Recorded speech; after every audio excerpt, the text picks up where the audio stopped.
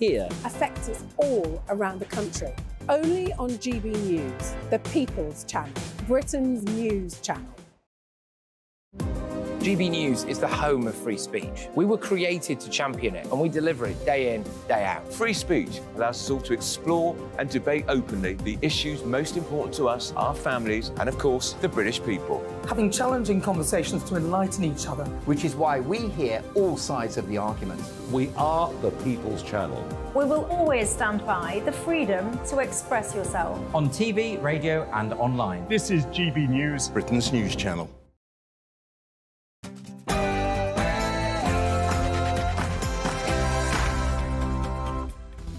Hi there. Coming up on the Saturday Night Showdown, Joe Biden claimed his uncle was eaten by cannibals in World War II. But something tastes funny about this. Is Biden a liar, senile, confused, or all three? And Hilary Cass, the doctor behind the landmark Cass review into child gender treatment, has been advised to stop using public transport over fears for her safety. Although, to be fair, that's just good advice for anyone. And the National Conservative Conference in Brussels was shut down for public safety. Wow, I feel so much safer knowing the left wing establishment can shut down political opponents. This is your Saturday Night Showdown.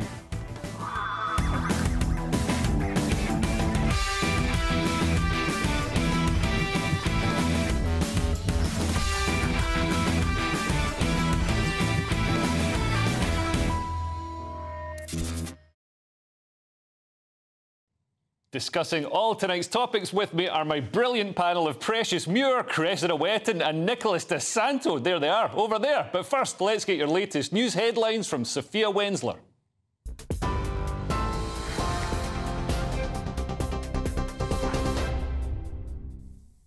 Thank you, Leo. Good evening. I'm Sophia Wenzler in the GB newsroom. Your top story this hour the US House of Representatives has approved sending £49 billion worth in foreign aid to Ukraine. Democrats and Republicans joined together after months of deadlock over renewed American support to help Ukraine fend off Russia's invasion.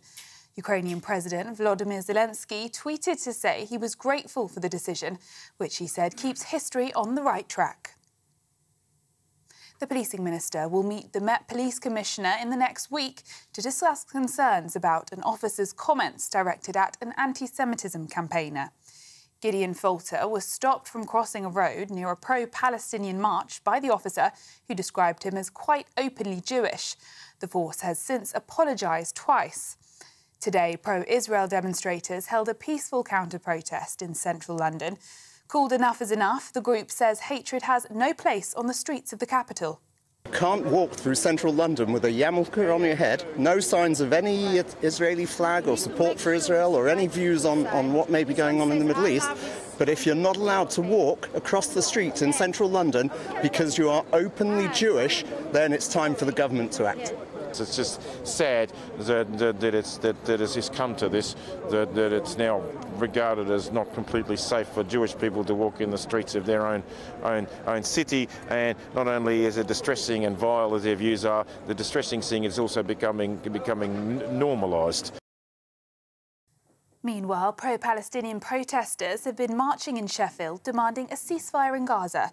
They're accusing Israel of using famine as a weapon of war and criticise the government for continuing to arm the country. The Palestine Solidarity Campaign also took aim at Barclays Bank, urging it to sever ties with companies which supply weapons and military equipment to Israel. And a two minute silence is held today, honouring the Englishmen and women who died serving the nation.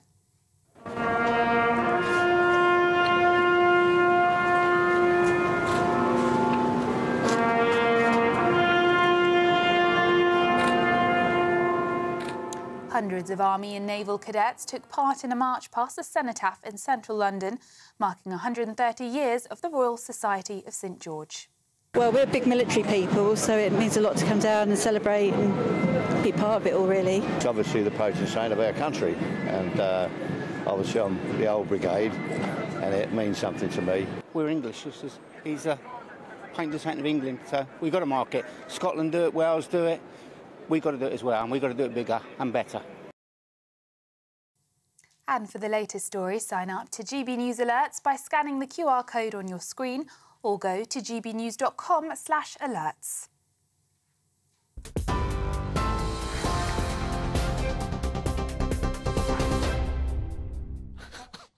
Thank you, Sophia, and welcome to the Saturday Night Showdown. And what a week it's been! Following the publication of the Cass Review into Gender Medicine, kids in Scotland who think they're trans will no longer be prescribed puberty blockers, but they'll still be allowed to wear a kilt and see if they like it. Royal Stoke Hospital displayed a banner with 21 gender flags in its reception. What bigots! Where are the other 428 genders? Still, it's good to see the NHS spending money on essential things like gender flags. If they didn't, they'd only waste it on something like kidney machines or radiotherapy. One of the flags represented gender fluid. If you do see gender fluid in a hospital, call for, call for an orderly and they'll mop it up. Reading University denied that its cloud seeding technology caused floods in Dubai, but the university's chemtrail department is suspiciously quiet. Come on, Reading, the people demand the truth.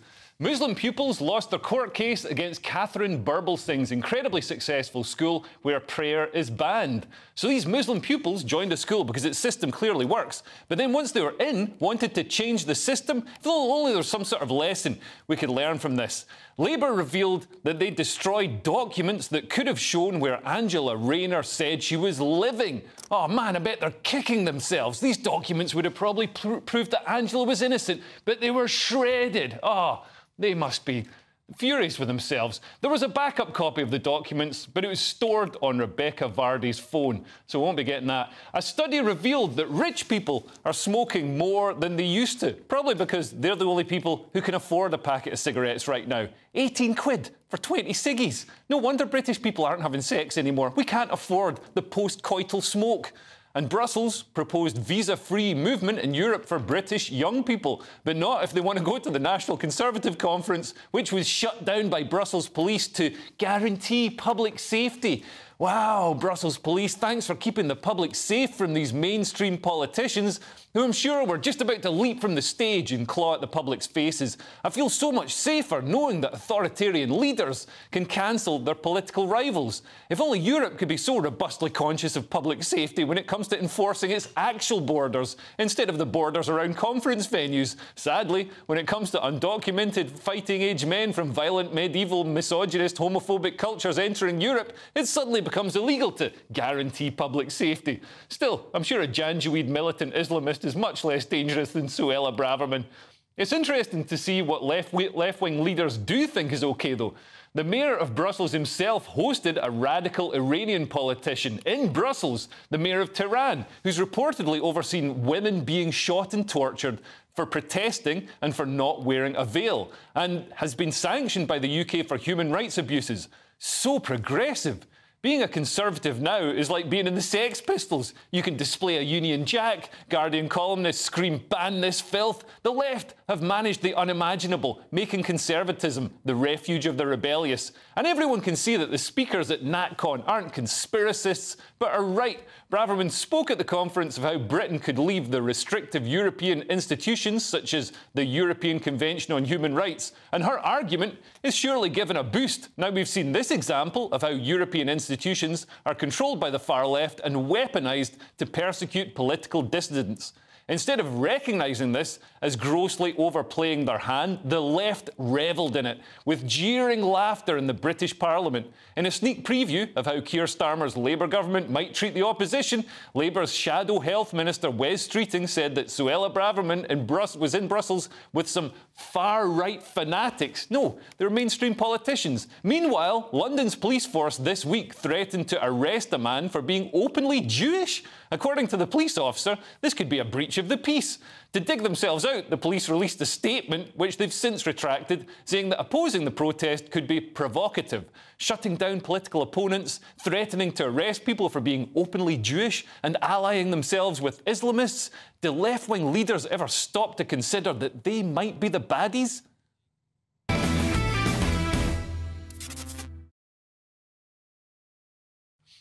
I'm joined tonight by Precious Muir Cressida Wetton and Nicholas DeSanto. Now, starting off with the shutdown of NatCon, it seems to be a, a, step up in leftist authoritarianism. They're literally shutting down mainstream political opposition. Does this worry you, Precious?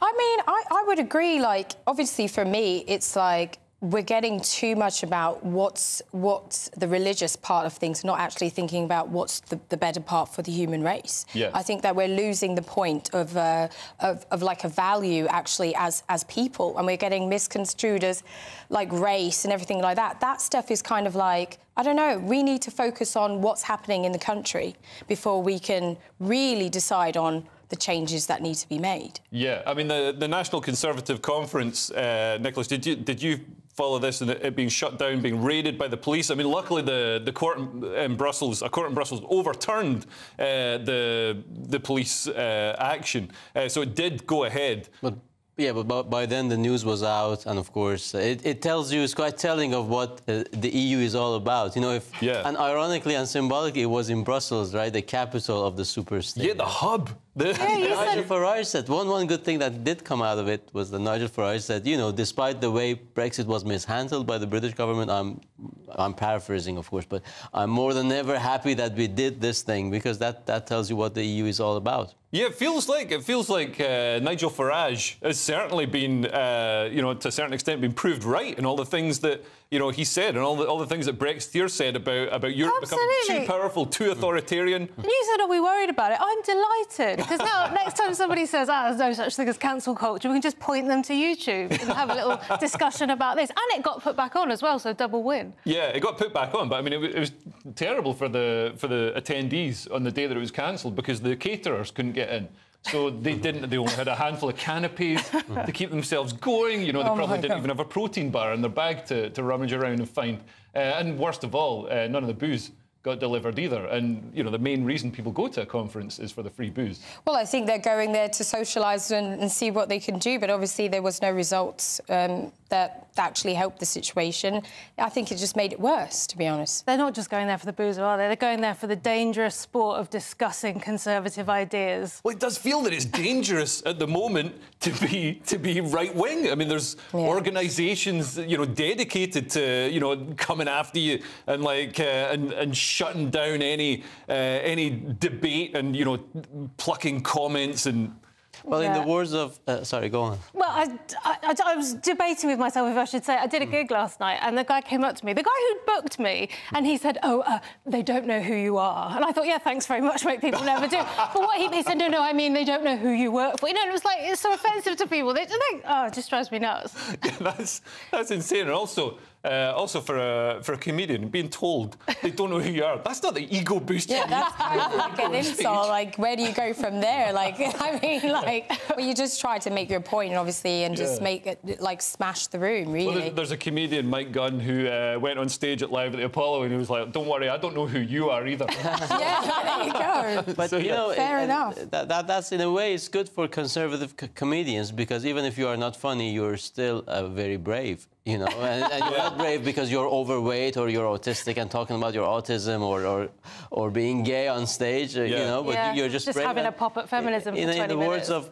Paul Joseph Watson, being conservative nowadays is the new punk rock. Yeah, Because and I- you are and I against the establishment. I feel like uh, you know politicians on the right they've got more conviction and more passion because nobody's pretending to be right wing to get an easy life. You know what I mean? It's not like being being left wing. And something else that uh, that we touched on in that monologue that, that terrified me this week was the the man who was uh, who was apprehended by the police and threatened with arrest. You know, apparently um, for being what the police officer described as openly Jewish. We've, we've actually got the video Oh my of God. this uh, to, to You are quite openly Jewish. This is a pro-Palestinian march. I'm not accusing you of anything, but I'm worried about the reaction to your presence. You choose to remain here because you are causing a breach of peace between other people.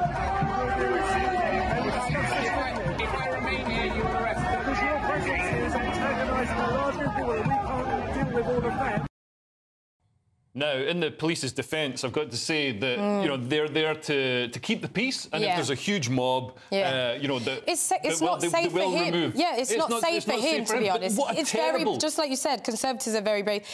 As a comedian, a conservative, that guy is acting very brave to be in such a space where he knows that there's predominantly Palestinian people, and he's clearly Jewish with his amaka. He's openly right? Jewish. So he's openly Jewish, and he's visually expressing how he feels. That's very dangerous, very brave of him, He's, but he's very just ex- dangerous. he's just existing, to be honest. He's just right. existing on the streets of London, Right. and that's apparently uh, something that you know, if you're if you're Jewish, the police. In that instance, said you need to be removed from the streets of London. This is this seems to me uh, It's be a- discrimination. A, a sort of terrifying. Hopefully, it's a tipping point where we're, something will actually get done about the issue. Yeah. But if, if we've got mobs of people in the streets of London who won't.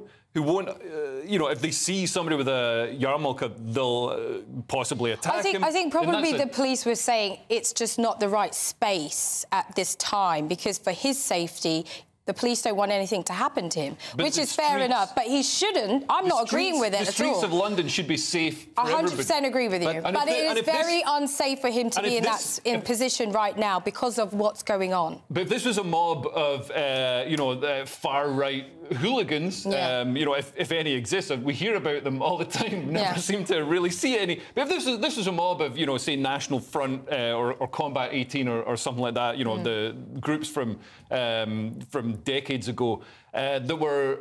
On the on the hunt or presenting a threat to people of colour. I mean, I Mm. Think there'd be much more. The government would immediately A step hundred. into I action. agree. listen, I don't. I don't agree with what's going on. I'm just saying, visually, it can be dangerous for a Jewish person to be around those kind of protests as an openly Jewish person, because somebody will attack them, But and even that's for their anywhere safety not to be able to to be in that experience. It's best to just stay away. You're but not- just for example, when a person goes to a football match, and as an Arsenal girl, as a Gunners girl, I'm not going to sit in the opposition team just out of safety, not because I shouldn't, But this man but just wasn't- out of safety but this man wasn't entering a mosque. No, he, no. he was literally just on the streets, and I think it's safe for Tottenham fans and Arsenal fans to walk in the, the streets of London. Well, and if it wasn't, it, it would get don't know shut down. that, it would get yeah. shut down early doors, wasn't it? And this has been allowed to grow and grow. And over the weeks, people have got bolder with their with their statements that are a bit, un, uh, not a bit, unpo- totally should be illegal statements that they Mm. shouldn't be allowed to make have been let out of hand. And now the police have got this massive. It's that thing, kill a dragon when it's little, you know, or tame it. It's like it's a massive dragon now. That poor policeman. of yeah. course, he doesn't want any trouble. What's he going to do if it all kicks off? Primarily, the police job is not worrying for his safety, but uh, ensuring he, he, he, he can go about his business in safety. And this is not, I can, I can understand it, he's there as a counter, or he might be there as a counter protest. Yeah. And by the way, these counter protests have been tolerated because when the cenotaph thing happened and the, the, the pro-Palestinian march wanted to do it on the Armistice Day at the cenotaph, the police didn't say, no, no, this is illegal because we are worried about, you know, safety. They, they, they allowed them to do that. Yeah. But and it's not just about protests because not long ago there were Jewish schools who did advise their pupils not to carry the yarmulke and not, Yeah. not, not, not, not, not to appear Jewish for safety And reasons. uh, there have been arson attacks on uh, on an MP's office uh, for for supporting um, Israel or not for for not, for not voting the, the way that they wanted. Uh, there was also uh, an allegedly anti-Semitic arson attack on somebody's house as well. so much for thank God the Germans didn't win the Second World War, right? Well, it certainly seems that you know if if the, if the Nazis came back today, they, uh, they'd they'd probably be delighted with what they can see. You know, the the, the yeah, state it's true is now because of the way the Jewish community have been treated. yeah. It's really bad. I'm not agreeing with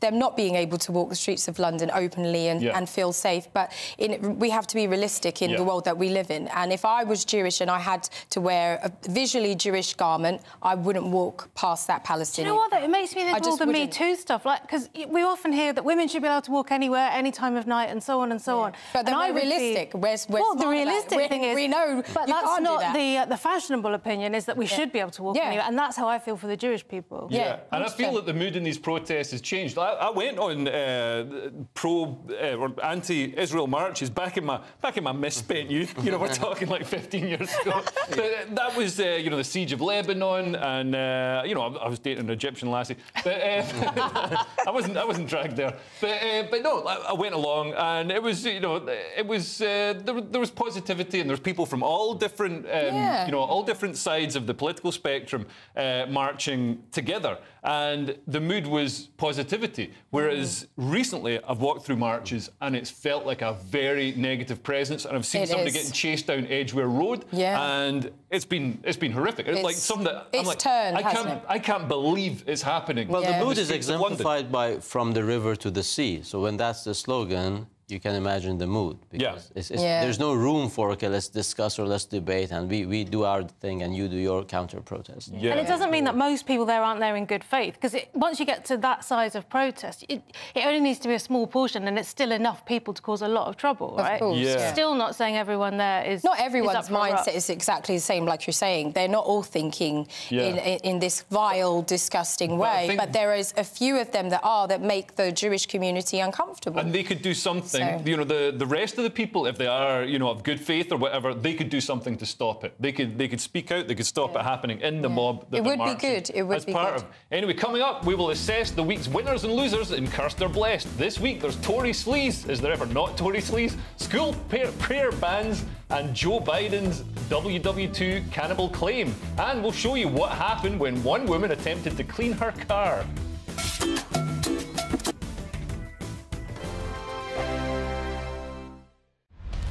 Britain's newsroom.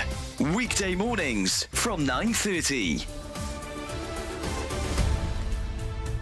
men's mental health. Yeah. Men are starting to talk a lot more. Yeah. You've been through a lot of stuff that uh, people don't know about. Yeah, I mean, um, the last few years for me have been very, very difficult. Um, people don't, people see me on tour, performing, making music, um, but um, myself and my wife, um, you know, we went through um, two miscarriages. Oh, um, You know, and you know, for us.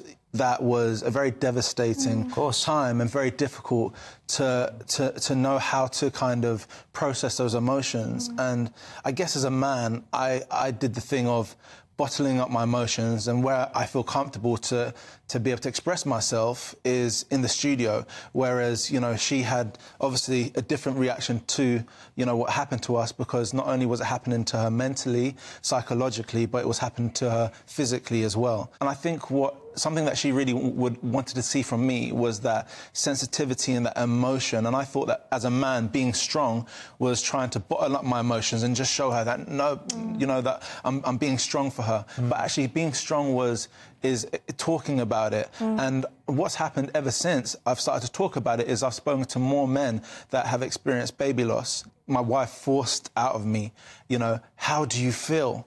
And I ended up as a mess on the floor. I was exasperating, crying, almost inconsolable. She was just holding me in her arms um, as we cried together, and we cried together. Um, and I didn't realize I needed that release so badly. Like I said, I've been able to speak to other men, and and, and we've been able to cry together, and they've they shared their own experiences, which they did similar to me. But actually. You know, as men, I feel like that conversation and that sensitivity and being able to be emotional together I'm Andrew Doyle. Join me at 7 o'clock every Sunday night for Free Speech Nation, the show where I tackle the week's biggest stories in politics and current affairs with the help of my two comedian panelists and a variety of special guests. Free Speech Nation, Sunday nights from 7 on GB News, the People's Channel, Britain's news channel. Every Sunday from 11, join Michael Portillo. There will be topical discussion, looking at the week before and the week to come. So kick back and relax at 11 a.m. on Sundays on GB News with me, Michael Portillo. GB News, the People's Channel, Britain's news channel.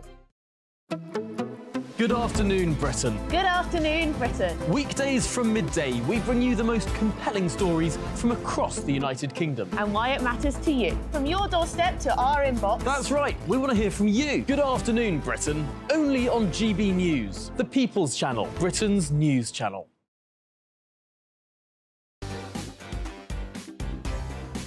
On Mark Dolan tonight, in my big opinion, working is a national duty. It's time for lazy Brits to wake up and smell the coffee. In my take at 10, after a humiliating double apology, British policing is no longer fit for purpose. And has Joe Biden finally lost the plot? I'll be asking America's psychiatrist, Dr. Carol Lieberman, plus top royal author Tom Bower, and political double act, the Hamiltons. We're live at 9.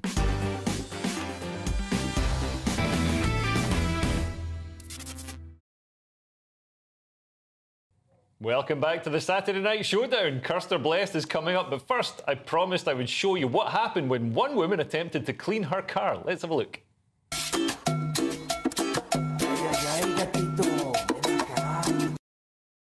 God. Oh. I mean, doesn't this just show that you should really let a car wash do the work? Take it to a professional, I think. That's that's all I can say because that was she let go? overpowering. She what was she thinking? I mean, also, what could have happened if she let go? Yeah. That, that hose would Would have still hit be, in the still be going. You're right, she could have lost her dignity. Yeah. okay, well, it's now time to go through the winners and losers of the week in Cursed or Blessed. Allegations that the MP Mark Menzies misused Tory campaign funds have been referred to Lancashire Police. Now, most of us have had a wild night out, but most of us probably haven't ended up calling a 78 year old colleague and demanding company funds to pay off people who are holding us hostage, unless we've ended up back at Joy, Boy George's house. But that's allegedly what happened, not the Boy George's house but to, to, to Scottish Tory MP Mark Menzies. He lost the Conservative whip this week after his former campaign manager claimed he telephoned her at 3.15am asking for £5,000 to pay bad people who had locked him into a flat and wanted money because apparently he'd been sick everywhere.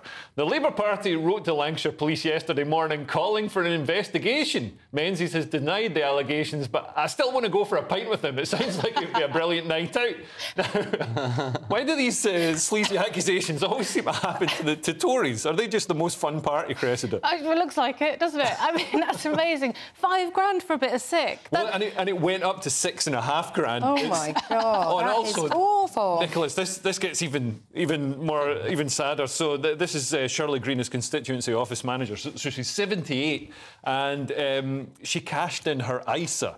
Uh, to, to well, this is what she claims. She, she claims she cashed in her ISA to, to pay him to pay this ransom to get him out of this flat. Uh, but I mean, credit to her for her loyalty to the party. So but, uh, dedicated, yeah, yeah. isn't I know it? it'd risen to six and a half grand, which, to be honest, would probably buy you the flat in Scotland.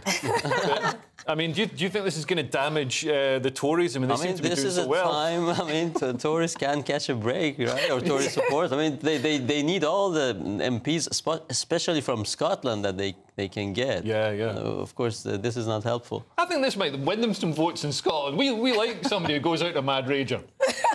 I mean, Scotland is ahead of the game, I feel like, because they're doing stuff, they're changing stuff, they're allowing stuff to happen that we're just not having happen What in sort London. of things is Scotland allowing Well, they're happen? allowing. Well, obviously, they're they're actually forwarding thinking in regards to stopping the medication for children to actually. Oh, that, that was stopped in Yeah. stopped in the rest of Britain first. Oh, was so, it? And actually, Okay. the SNP sort of lagged, and they were they weren't going to do it because the Oh. SNP always likes to do things differently to Okay. Westminster, Right. uh, to say, "Oh, we're skilled, we do things differently." Yeah. Uh, but then it turned out in this case that uh, you know pumping kids full of hormones and puberty blockers and giving them surgery, you know, might not be. Uh, I would agree. Thing to do after. after the 100% Cass don't agree with out. that, yeah. Um, but I've, I've got to ask, you know, would any of you, uh, if I phoned you at 3.15 in the morning demanding five grand uh, to pay some bad people, would you do it? No, I'll give you Lewis's number and say, go away. Lewis doesn't have that If kind you of money. promise me a, a lot of um Saturday Night Showdown appearances, a block booking, I might. Leo, I would have to say no, I'm afraid. well, I know where I stand. I guess Oh, I'll never bless be a you. Tory MP now. Maybe he was on an Airbnb uh, rental and he was uh, afraid of his ratings going down. Oh yeah, yeah. That's, that's what happens if Well, I think you've got to get a place. five-star rating if you if you hand over six and a half grand from an old woman's ISA. Anyway, Joe Biden has claimed that his uncle, who served in World War II, was shot down in the Pacific and eaten by cannibals.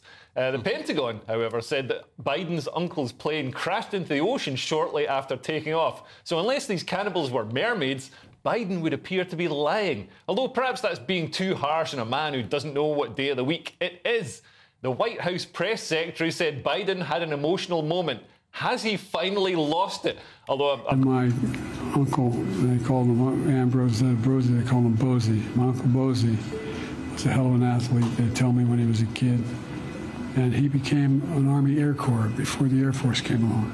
He flew those single engine planes as reconnaissance over war zones. He got shot down in New Guinea. And uh, they never found the body because there used to be there were a lot of cannibals. Oh, this is getting kind of sad now. Every time I see Biden, it's like watching one of those adverts for a donkey sanctuary. You know what I mean? I mean- Why are they making this guy do all this work? This is really Because sad to see him is kind of. sorry. He's deteriorating in front of our eyes, and nobody's stopping it. Yeah. And I really do feel bad for him. His wife has to take him off stage most of the time. I just think he needs to step down, retire, and let Camilla Harris become president. I Well, mean, that's- it would just be amazing for her to be president. I don't know if Kamala would be a fantastic president, but I think she definitely I think step she'll be down.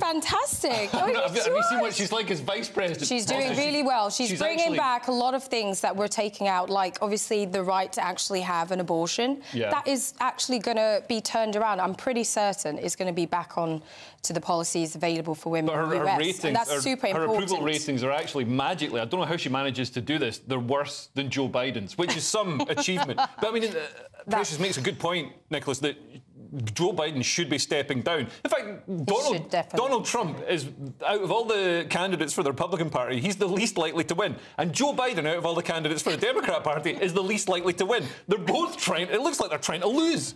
I mean, Trump is leading in virtually all uh, polls, but Kamala By a couple of points. Uh, which, which, which says a lot because usually, as we've seen previously, he outperforms his polls by a large margin because many people are shy or, you know, out of spite for mainstream media. Yeah. Many of his supporters don't declare that they are. But like Nikki Haley, for example, would have been 17 points clear of Biden. Yeah, but she, she wouldn't win the primaries, so so it's not going to happen. The thing is, they will never elect a woman. That's the thing. They couldn't care less if she was right or not. They just don't want to have a female president. I think, I think they would. I mean, I That's think what it Hillary. Hillary came very close. She was just stymied by the fact that you know she's uh, really terrible and no, no, and uh, very annoying. So yeah, I can't even say But that. word. Kamala makes Hillary look like Miss Congeniality. It's I mean, her- it's her voice. You Thanks to guys. Kamala, Oh, my I- God. Joe. We did it. First of all, thanks to Kamala, I've learned the expression word salad. You, know, I mean, you, you should, should use some of those clips for your for your uh, you know video segments. But but the thing is, Democrats, the Democratic Party itself is so terrified of Kamala, you know, becoming the. Pre- that's why they are wheeling Joe Biden everywhere. And Yeah, literally wheeling my I just want to say in a wheelbarrow. The the whole. My, my favorite co- comedian. Norm Macdonald had a big bit about his. So I was your favourite comedian. Well, uh, you are my living favorite comedian because sadly Norm Macdonald uh, passed away. Uh, but um, Norm Macdonald had a big bit about his campaign against cannibalism because it was so easy for people to get behind and there would be no counter protest. So it was easy.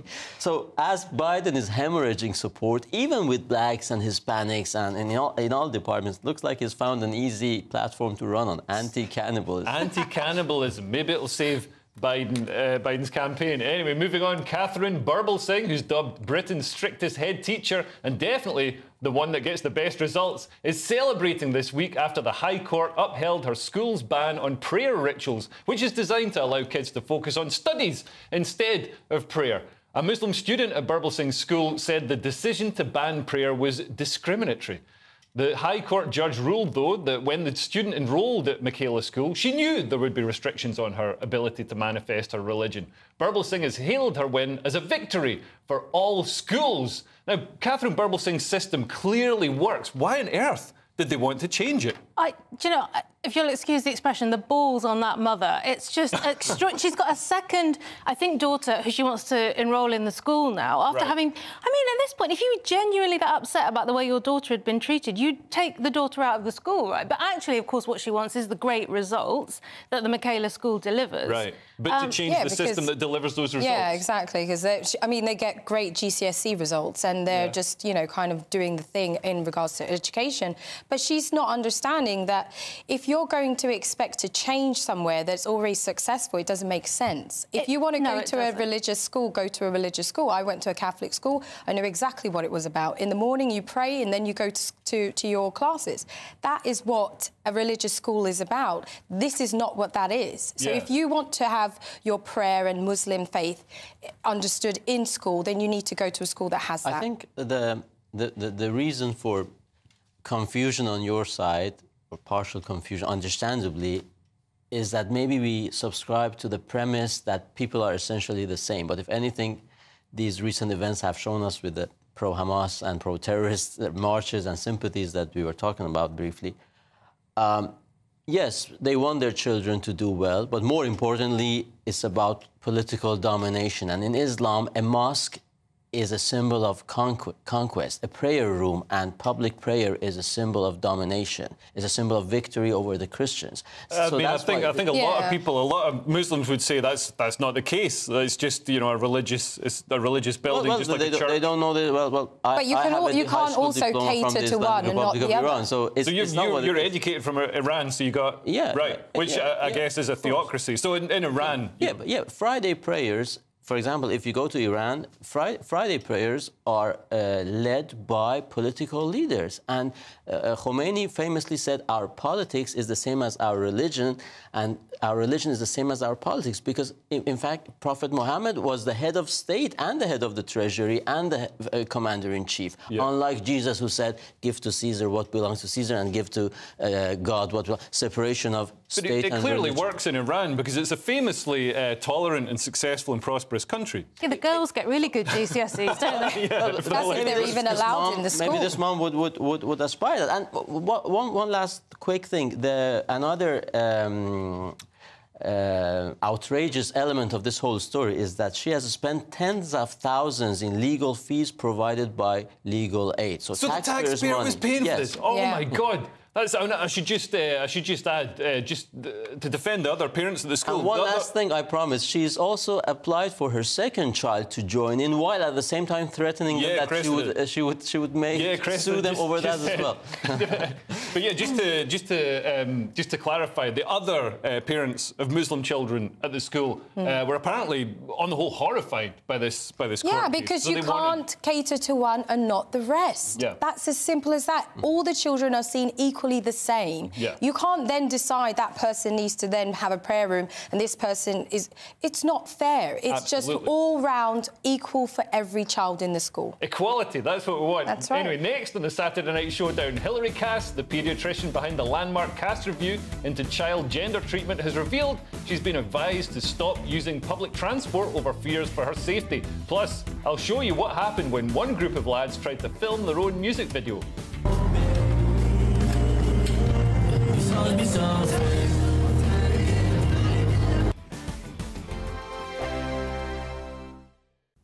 Good evening. Welcome to your latest GB News weather from the Met Office.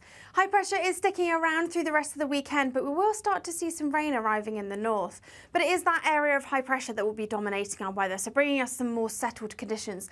However, these weather fronts out to the north will bring us a bit more in the way of rain as we head through Sunday and into the new week. Plenty of cloud around through the rest of this evening, spilling its way southwards across much of England and into parts of Wales into the early hours of the morning. But southeastern parts of England, Northern Ireland, Western Scotland probably holding on to some clearer skies and turning chilly here, perhaps some frost in places. But under all that cloud, generally not quite as cold, although the high single figures are possible. So a bit of a cloudier start, particularly for eastern parts of Scotland. Some outbreaks of rain spilling their way southwards through Sunday morning. But eastern parts of England, Northern Ireland, Western Scotland still holding on to some of that sunshine. Perhaps one or two showers across the very far southeast, but it should be staying dry for most places. Away from that cloud and rain. Under that cloud and rain, still feeling quite chilly. We're struggling to reach into the double figures across some North Sea coast, but further south, highs of 14 or 15 degrees.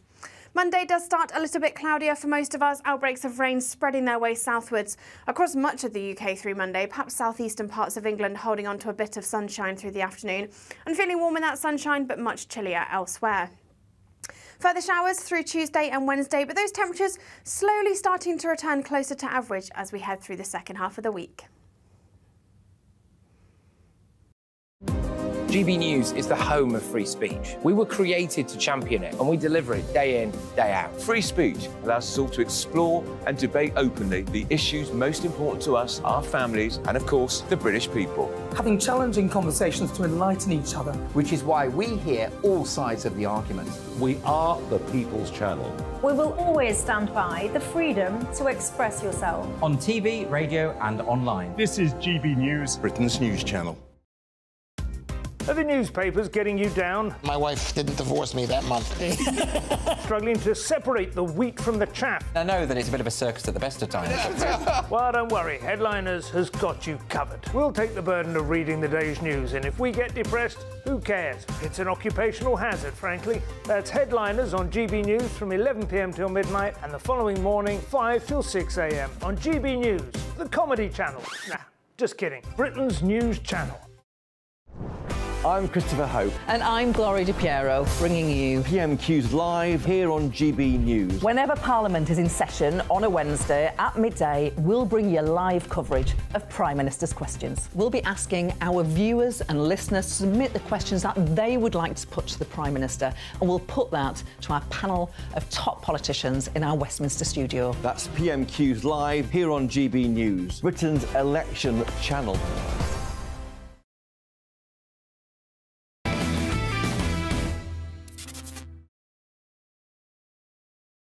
Welcome back to the Saturday Night Showdown. Culture Corner is coming up, but first, I promised I would show you what happened when one group of lads attempted to film their own music video.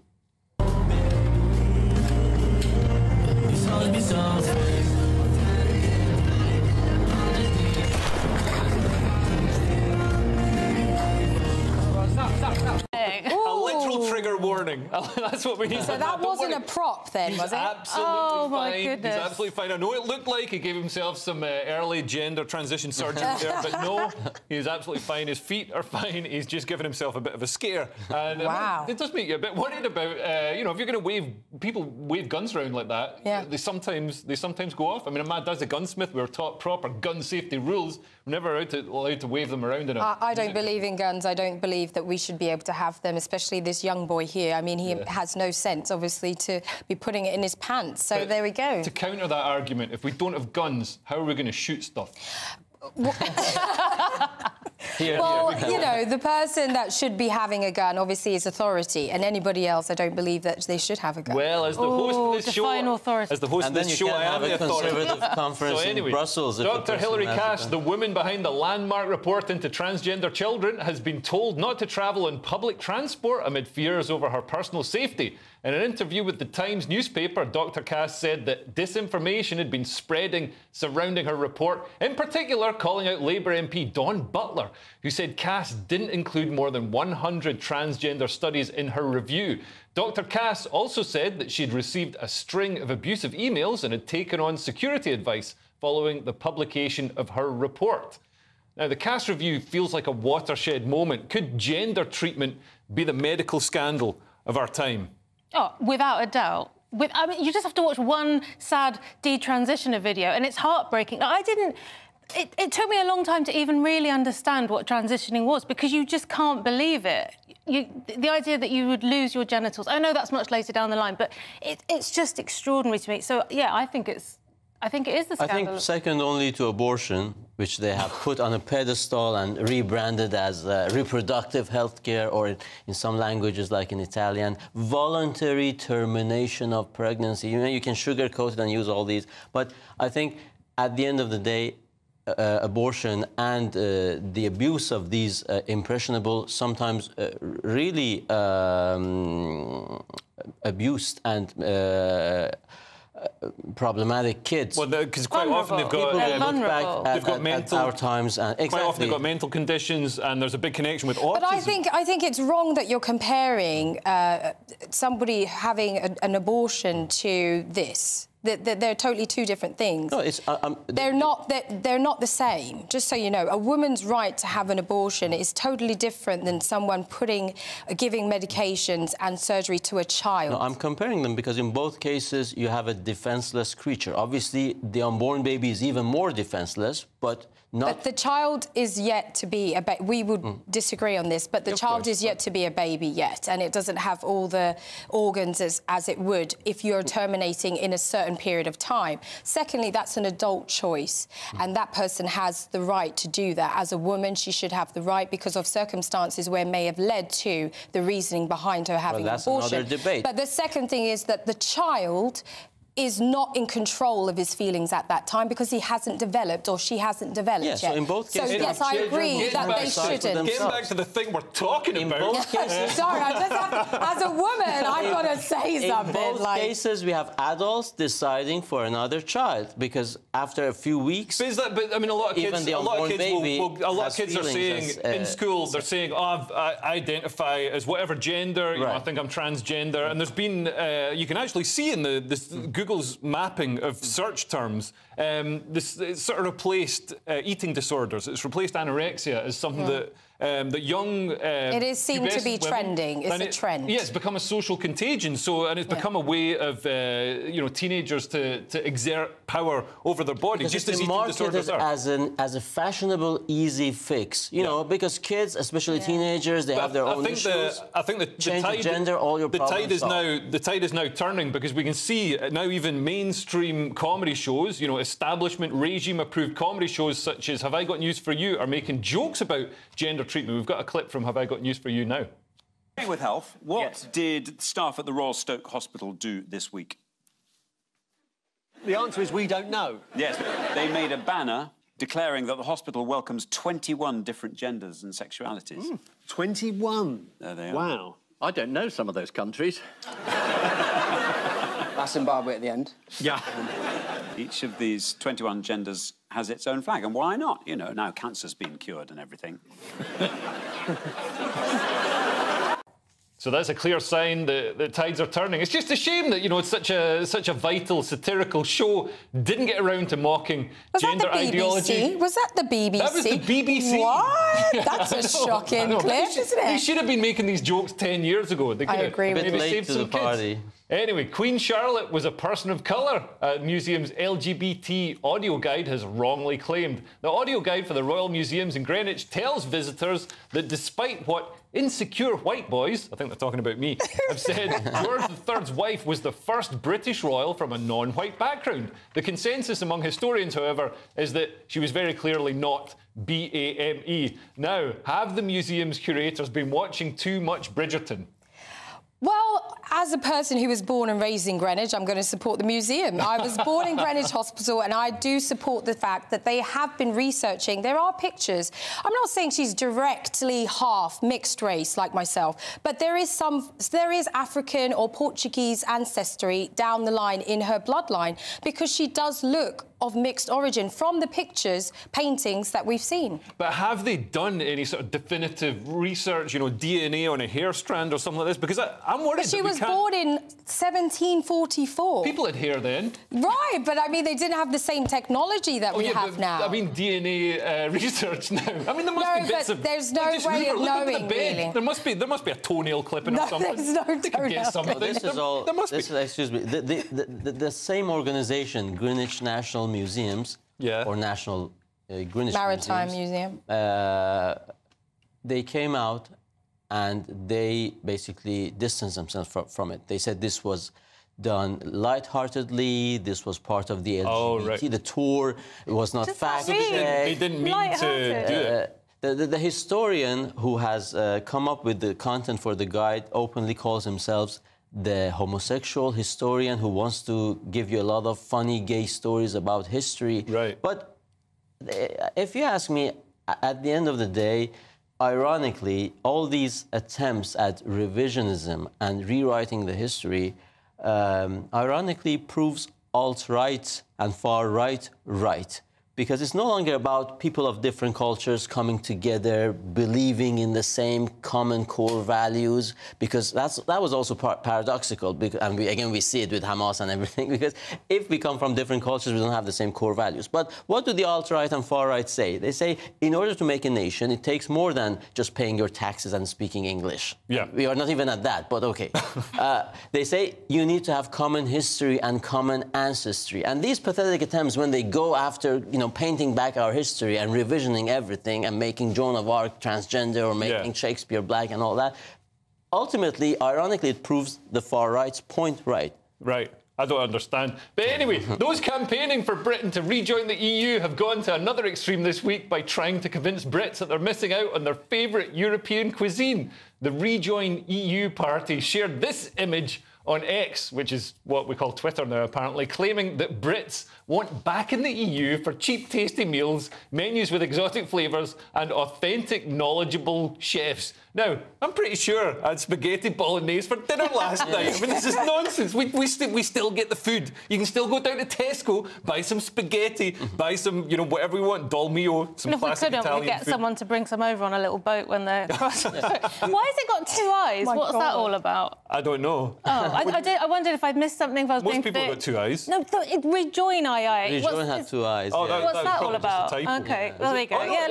look. What's Yeah, you're why? I thought, Enjoy, have I missed something? They, don't anyway, they didn't want to waste any spaghetti. You know what that is? Oh, that's I done in see, that's done in AI. Mm. That's done in AI, so Someone it didn't missed, spell it. yeah. Right. Well, I think it's just because obviously the cost of stuff has gone up, so that's what it is. They're Yeah, but the saying that you can still. cost still of stuff has gone up. Cost of food has gone up everywhere. Everywhere, that's what I mean, Ukraine yeah, yeah. war and various other factors, and the fact mean- that our governments keep printing ridiculous amounts of money. Well, it, that's what's their problem. That's what their excuse or their, uh, you know, what they're saying is that the price of the Italian food has gone up. Yeah, So that's but why. It's, it's gone up in Italy as well, which Yeah. you know And we seems to be in a maybe political- Brexit is bad for everybody. Anyway, next not in in the Saturday Night Showdown, it's time for Clown World, where we'll be diving into conspiracy theories that have been making the rounds this week. Plus, I'll show you what happened when this couple decided to race one another. Are you guys ready? Yep. One, two, three.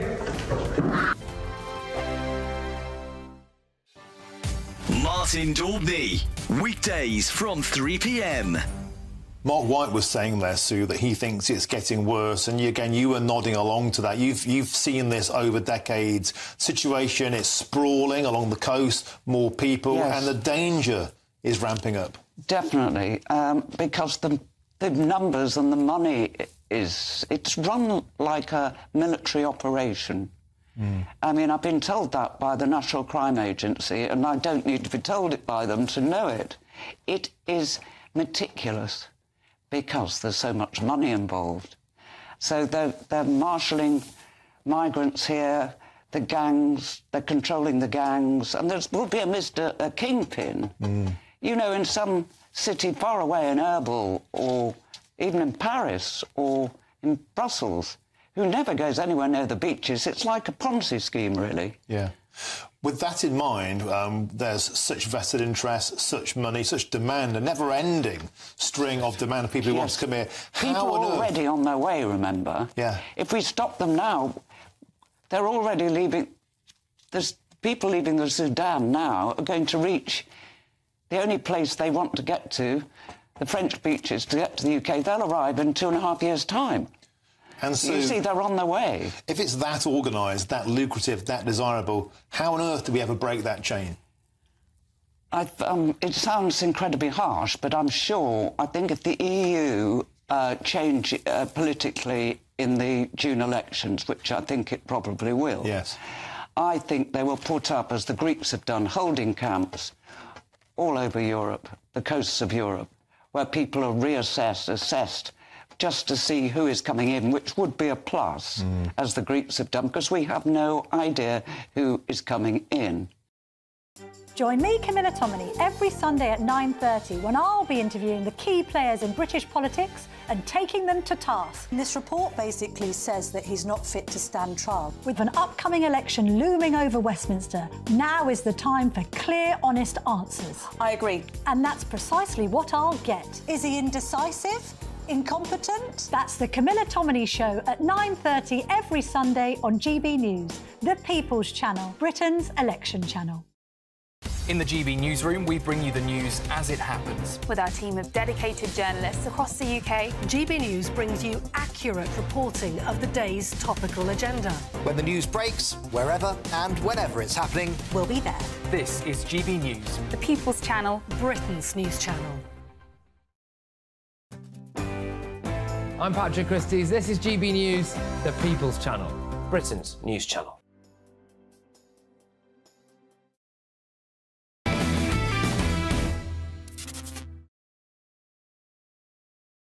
Welcome back to the Saturday Night Showdown. Clown World is coming up, but first I promised I would show you what happened when one couple decided to race each other.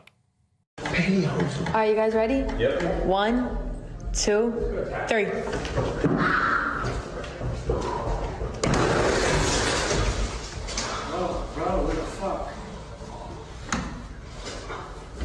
Do you like, do you like that oh. precious? I mean, the, she doesn't check to see She doesn't he's even okay. look back. She's She's just she's just going. She's winning the, the race. She doesn't care. Like She wants to make sure that was caught on camera. yeah, just gonna check. Yeah. And it was obviously in a hotel, so she was worried about getting caught by the staff. But anyway, there's been a right deluge in Dubai this week as the city was hit by more than a year and a half's worth of rain in just one day, although it is Dubai, so that's not a huge amount of rain. If it was Britain, it'd be quite a lot of rain. Well, experts say the downpour in the desert was due to a large weather system, some have blamed new cloud seeding technology, which electrically charges clouds to produce raindrops in a bid to reduce drought in the region. Reading University has been working with the Gulf state to develop cloud seeding, and some of it involves aircraft firing salt flares up into clouds to induce condensation. It sounds very suspicious.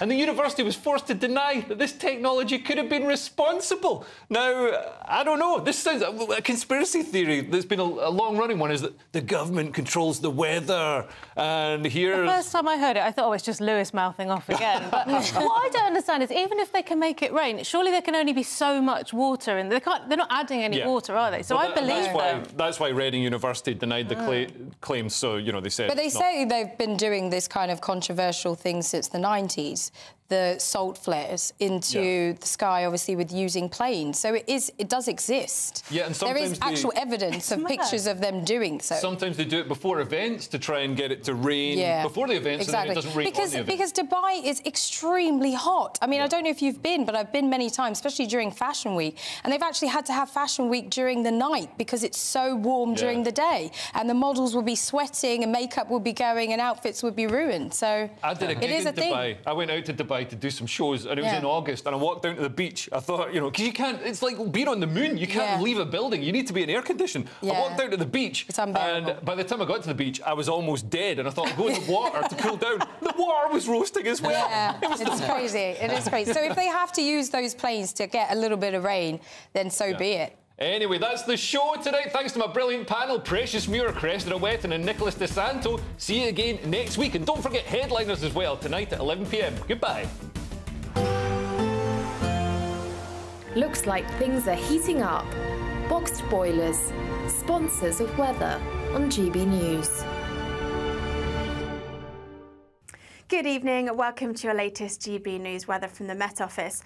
High pressure is sticking around through the rest of the weekend, but we will start to see some rain arriving in the north. But it is that area of high pressure that will be dominating our weather, so bringing us some more settled conditions. However, these weather fronts out to the north will bring us a bit more in the way of rain as we head through Sunday and into the new week. Plenty of cloud around through the rest of this evening, spilling its way southwards across much of England and into parts of Wales into the early hours of the morning. But southeastern parts of England, Northern Ireland, Western Scotland probably holding on to some clearer skies and turning chilly here, perhaps some frost in places. But under all that cloud, generally not quite as cold, although the high single figures are possible. So a bit of a cloudier start, particularly for eastern parts of Scotland. Some outbreaks of rain spilling their way southwards through Sunday morning. But eastern parts of England, Northern Ireland, Western Scotland still holding on to some of that sunshine. Perhaps one or two showers across the very far southeast, but it should be staying dry for most places. Away from that cloud and rain. Under that cloud and rain, still feeling quite chilly. We're struggling to reach into the double figures across some North Sea coast. But further south, highs of 14 or 15 degrees. Monday does start a little bit cloudier for most of us. Outbreaks of rain spreading their way southwards across much of the UK through Monday. Perhaps southeastern parts of England holding on to a bit of sunshine through the afternoon. And feeling warm in that sunshine, but much chillier elsewhere. Further showers through Tuesday and Wednesday, but those temperatures slowly starting to return closer to average as we head through the second half of the week. A brighter outlook with BOXT Solar, sponsors of weather on GB News.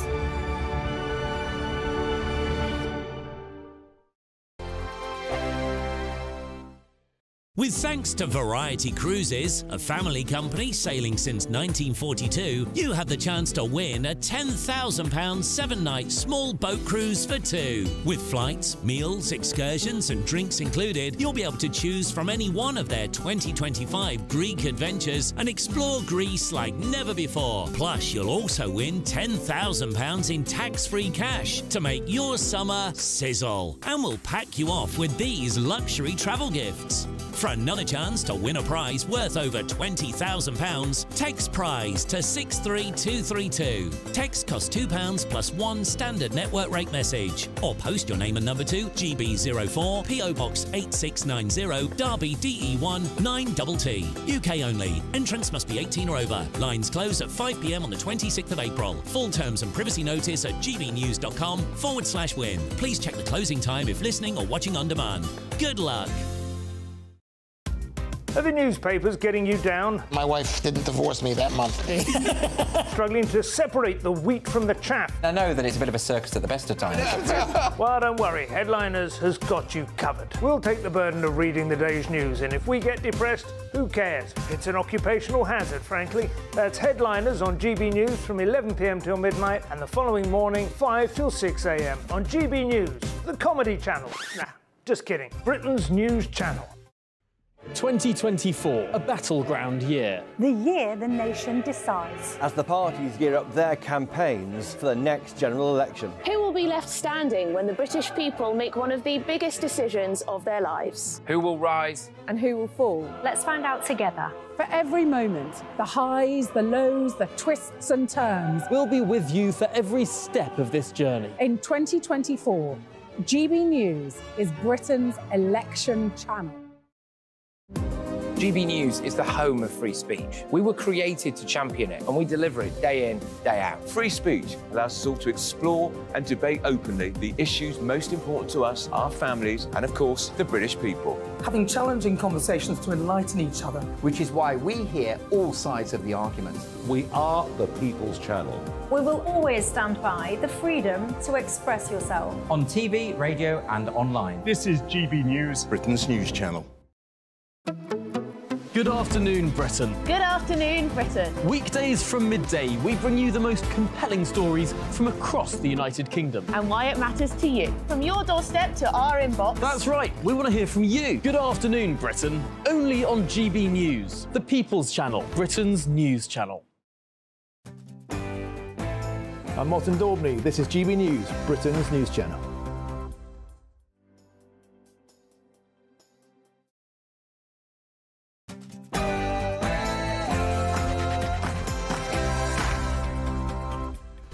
Good evening. It's nine o'clock on television, on radio, and online in the United Kingdom and across the world. This is Mark Dolan tonight.